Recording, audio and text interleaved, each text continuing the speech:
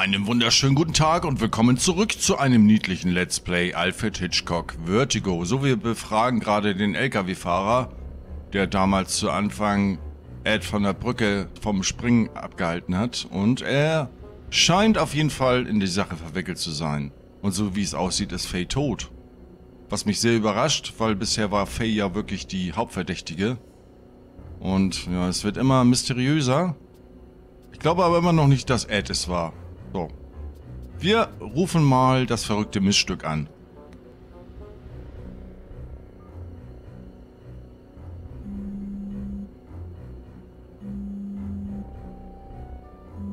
Okay. Was glauben Sie, wer das ist?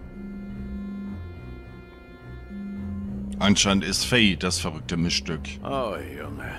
Da scheint doch glatt jemand namens Hirnloser Loser Barry sein verrücktes Miststück anzurufen.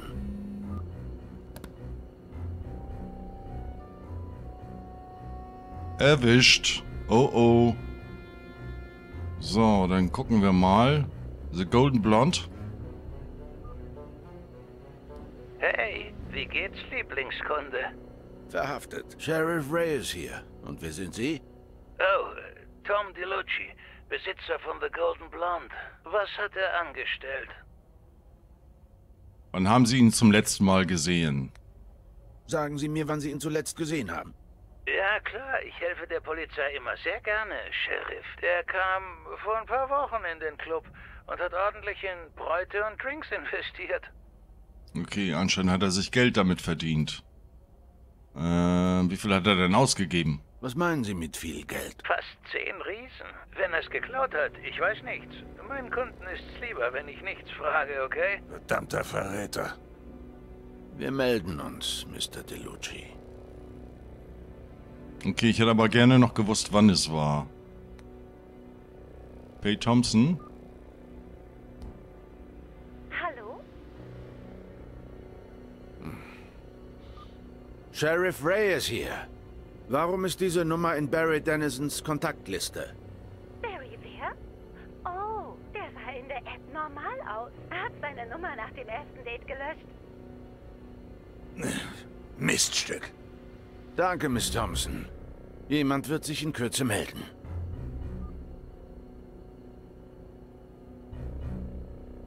Na, erzähl uns jetzt mal was. Wir finden Ihre Mütze, wo sie nicht sein sollte. Ihre Nummer, wo sie nicht sein sollte. Vielleicht sollten wir die Spielchen sein lassen, ne? Okay, anscheinend redet er jetzt. Sheriff, ich, ich will...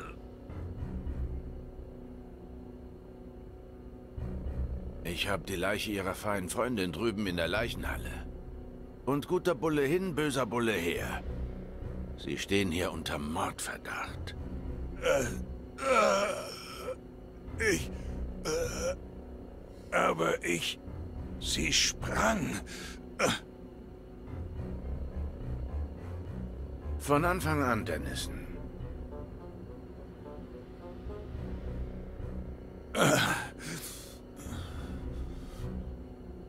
Die sprach mich bei Lawrence an.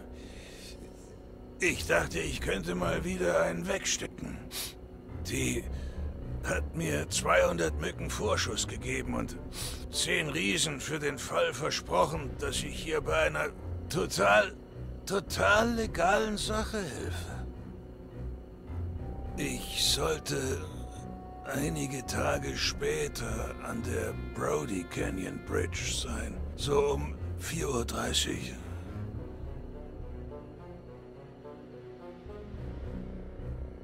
Rache. Der psychopathische Geist, der Folter und Missbrauch erlitten hat, ermordet nur hinderliche Randerscheinungen. Die drakonischeren Strafen hebt er sich für seine eigentlichen Opfer auf.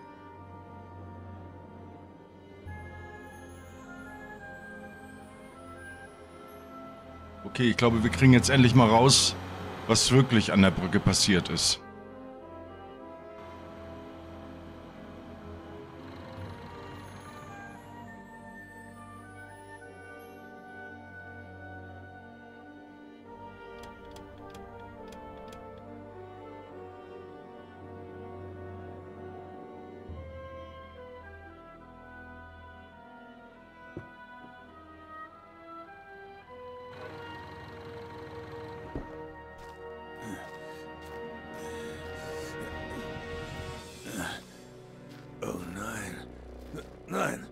Ist das etwa eine Leiche?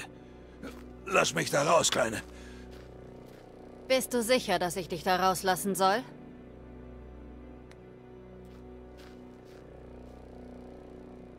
Hier ist nämlich keine Leiche. Bis jetzt. Hey, mal langsam.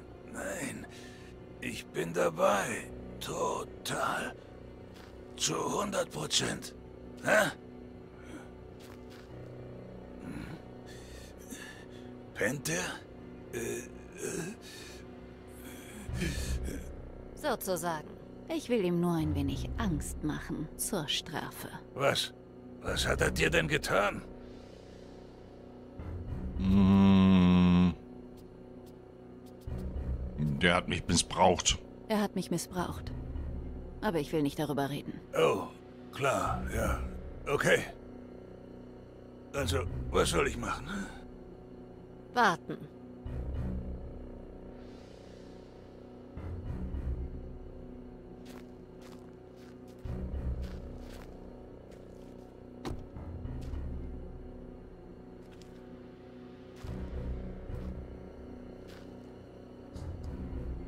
Okay.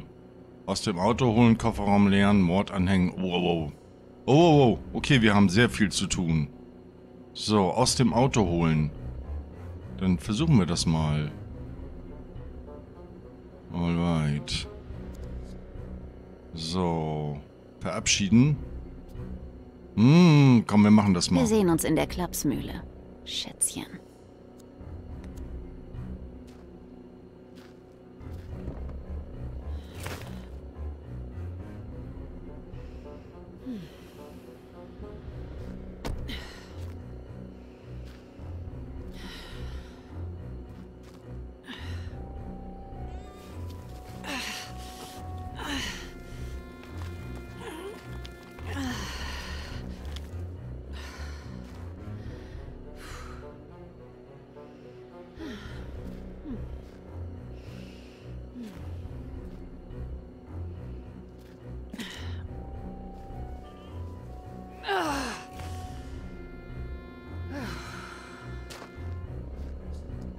So, dann müssen wir den Kofferraum leeren. Ähm, genau. Wahrscheinlich ist da die Sporttasche drin, ne?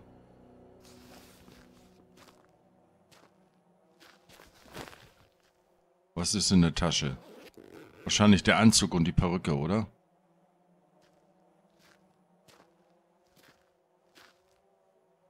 Okay. Kofferraum ist leer. Soweit, so gut. Okay, dann haben wir noch Mord anhängen, betrunkenes Fahren anhängen, Spuren von mir und Jenny aus dem Auto beseitigen, Wecker an den LKW-Fahrer übergeben, LKW-Fahrer bezahlen, in den Wahnsinn treiben, okay. So, ich würde sagen, wir werden erstmal die Spuren in dem Auto beseitigen. Vor allen Dingen, wo ist Jenny? Frage ich mich gerade. Achso, warte mal. Flasche herausnehmen, Spritze herausnehmen. Nee, ich guck erstmal, was wir hier noch an Spuren haben. Aber vor allen Dingen, wo ist Jenny? Jenny ist doch nicht hier drin. Wo ist das Baby? Okay, Waffe ablegen, genau. So, und die Whiskyflasche muss ja wahrscheinlich auch noch damit rein, oder? Ähm, genau. Oder ist Jenny doch noch drin?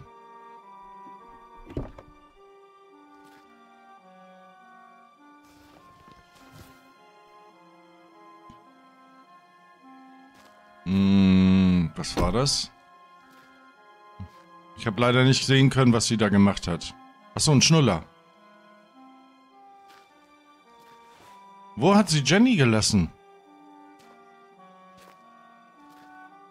Okay, wahrscheinlich hat sie Jenny vorher irgendwo in Sicherheit gebracht. Alright. So. Keine Spur von irgendwelchen Babys oder dieser Faye.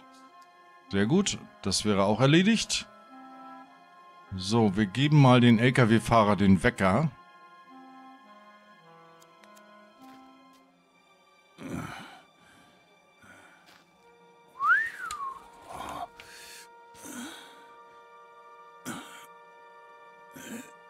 Ist eine Menge Geld. Wenn du das verrätst, egal wem, wirst du es nicht mehr ausgeben können.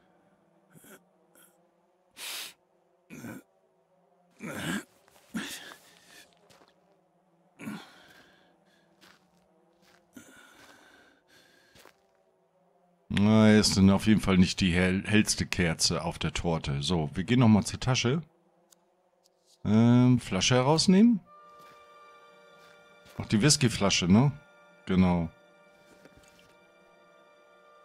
Die müssen wir auf jeden Fall auch noch platzieren. Äh, anscheinend auf der anderen Seite. Oder? Wo, wo müssen wir die Whiskyflasche platzieren? Die soll doch mit im Auto sein. Okay, anscheinend doch nicht. Was machen wir... Was müssen wir... Warte mal. Betrunken... Ach so, wahrscheinlich müssen wir die zu Ed legen. Kann das sein? Ja,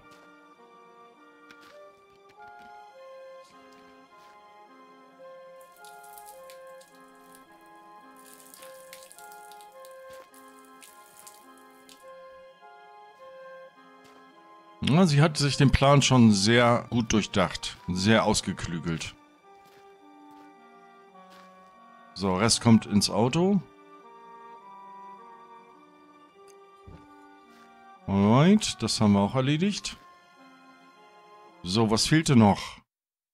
Wecker an den LKW-Fahrer übergeben. Welchen Wecker? Okay, wir gucken mal. Wir hatten ja hier noch eine Spritze. Die würde ich auf jeden Fall nochmal rausnehmen.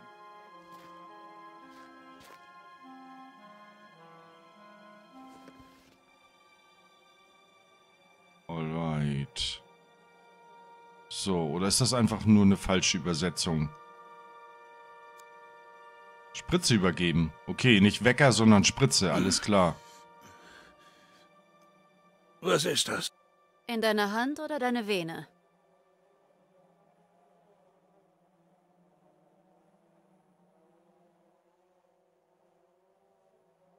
Okay. Es war ein Übersetzungsfehler. Ich habe mich nämlich schon gewundert, was mit Wecker gemeint ist. So, jetzt müssen wir eigentlich nur noch Ed in den Wahnsinn treiben, so wie es aussieht. Okay, wir schieben das Ding von der Hey. Klippe. Komm her.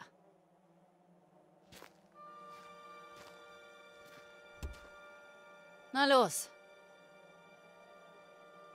So, einmal Wagen von der Klippe schieben. Komm schon.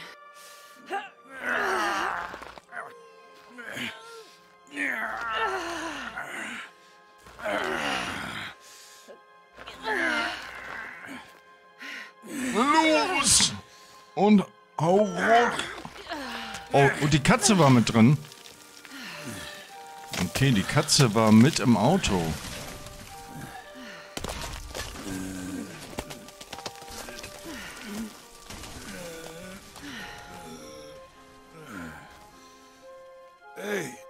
Scheiße. Das Vergiss sie. war meine... Warte hier. Alter, bist du ein Honk.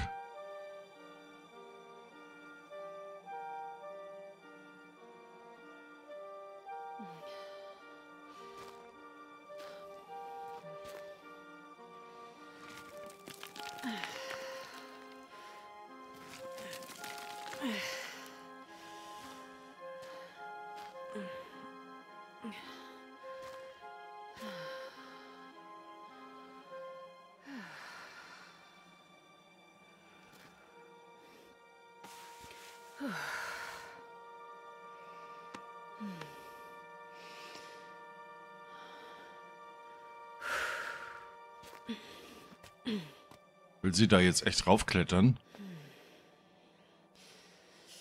Sieht so aus. Okay. Pre-Climbing scheint ihre Sache zu sein. Warum hat sie nicht einfach von der Brücke abgeseilt? Wäre doch viel einfacher gewesen, als da hochzuklettern. Na, keine Ahnung. So, auf jeden Fall ist sie gleich oben und legt die Tasche dort ab.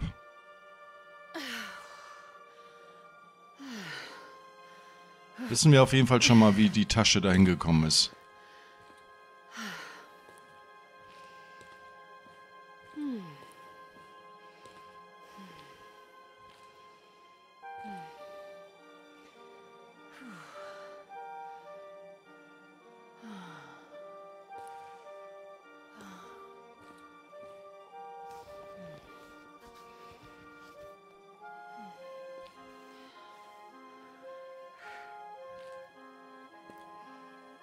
Mm.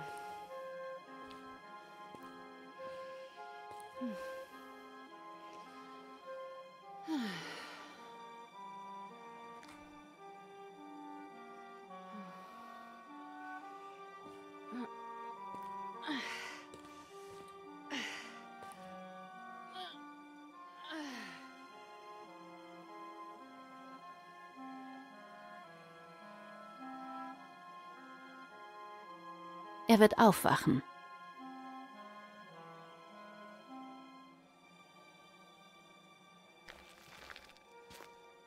Er darf dich nicht sehen.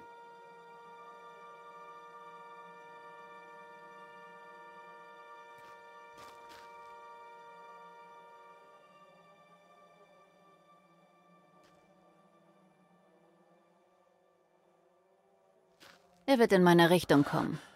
Folge ihm.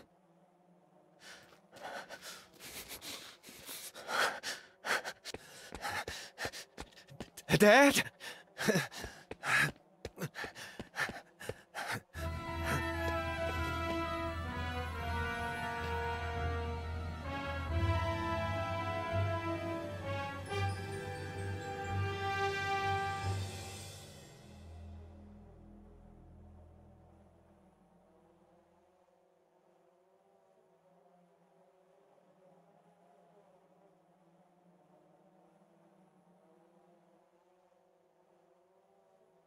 Okay, soweit war es ja schon nachvollziehbar, aber warum war Faye plötzlich tot? Warum lag sie unten tot?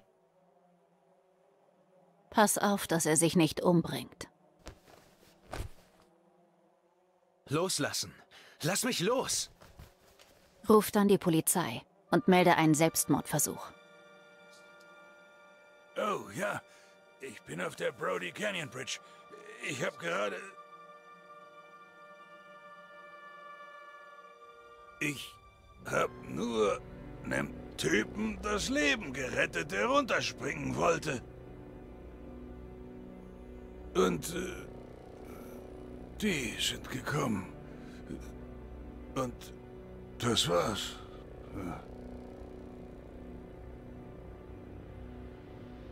Wissen Sie was, Dennison? Ich glaube Ihnen. Also bin ich sauber, unschuldig? Sieht so aus. Wie konnten Sie nur den Teil mit dem Baby auslassen? Welches Baby? Was? Wieso? Ja, ja, genau. Was war mit dem Baby? Was war mit Jenny?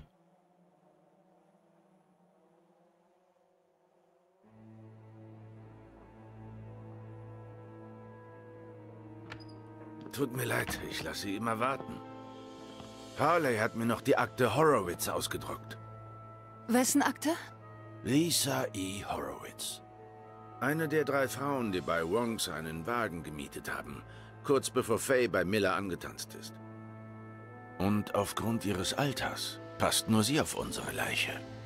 Ich habe Harley um mehr Details zu ihr gebeten. Wir können uns das ansehen, wenn Sie wollen. Und ich dachte, sowas passiert nur im Film. Willkommen in meinem Leben. Möchten Sie noch einen Blick auf das Brett werfen, bevor Sie das lesen, die Ermittlungen nochmal durchgehen? Ja, wir gucken uns das Ganze nochmal an. Nur zur Sicherheit schaue ich es mir lieber nochmal an. Okay. Wo fangen wir an? Man weiß ja nie, ob man nicht irgendwas übersehen hat. Alright. So, okay. Das ist tatsächlich Faye, die tot ist. Aber warum? Sie ist niemals von selbst gesprungen. Das glaube ich nicht. Wir wissen, dass sie letztes Jahr am 8. Oktober zu Hause bei Miller aufgetaucht ist, mit ihm geschlafen hat und wieder verschwunden ist. Nur um ein Jahr später wieder mit einem Kind, Jenny, aufzutauchen, der angeblichen Tochter Millers, den sie wochenlang als dessen Mutter verkleidet mit Drogen vollgepumpt hat. Ihr Motiv? Rache. Nach dem, was sie Dennison erzählt hat, hat Miller sie missbraucht. Meinen Sie, das könnte stimmen? Hm, ich bin mir nicht sicher. Es kann sein. Ed hat Angst, sich auf einen Partner einzulassen. Vielleicht wegen seiner Familiengeschichte. Aber er verhält sich nicht wie jemand, der andere missbraucht oder gar vergewaltigt. Aber so ungern ich das auch sage, wir können nichts ausschließen. Wobei das größte Rätsel für mich ist, warum ging ihr Plan nach hinten los? Sie ist ausgerutscht und das war's? Hat sie sich gerecht und dann einfach Schluss gemacht? Oder was übersehen wir?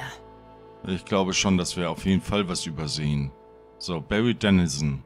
Faye hat ihm 10.000 Dollar gegeben, damit er ihr beim letzten Teil ihres Plans hilft. Zusammen haben sie Eds Wagen in den Canyon geschoben. Später hat sie sich als John Miller verkleidet, gewartet, bis Dennison Ed aufgeweckt hat und dann so getan, als würde sie von der Brücke springen. Doch sie trug einen Klettergurt, in den ein Seil gehakt war, versteckte sich unter der Brücke und steckte die Verkleidung und die Kletterausrüstung wieder in den Seesack, während Dennison in der Zwischenzeit Ed am Springen hinderte und die Polizei rief. Naja. So. Autowrack? Faye stellte absolut präzise den Unfall nach. Bis auf die Reifenspuren.